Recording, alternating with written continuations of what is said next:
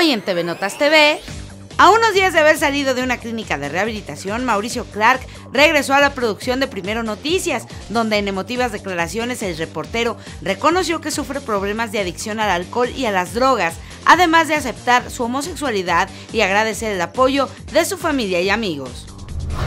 La bella actriz Vanessa Arias aprovechó sus días de descanso para darse una escapada a la estación de esquí Big Bear en California, Estados Unidos. La histrión escaló las heladas montañas estadounidenses para esquiar y pasar un rato de diversión con un grupo de amigos.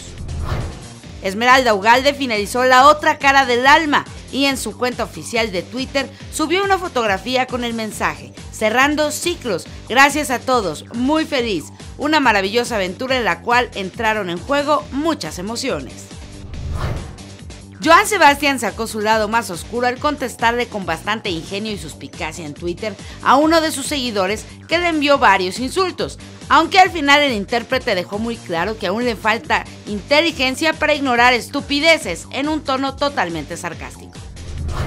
Kim Kardashian y Kanye West quieren echar la casa por la ventana con la llegada de su primogénito, el cual nacerá el próximo mes de junio.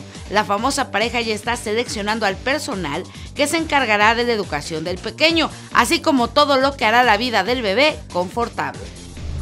Te recuerdo que puedes seguirnos en nuestro Twitter, arroba tvnotasmx. Y también te recuerdo que puedes suscribirte al canal de YouTube, Diagonal Revista TV Notas. Esto es TV Notas TV.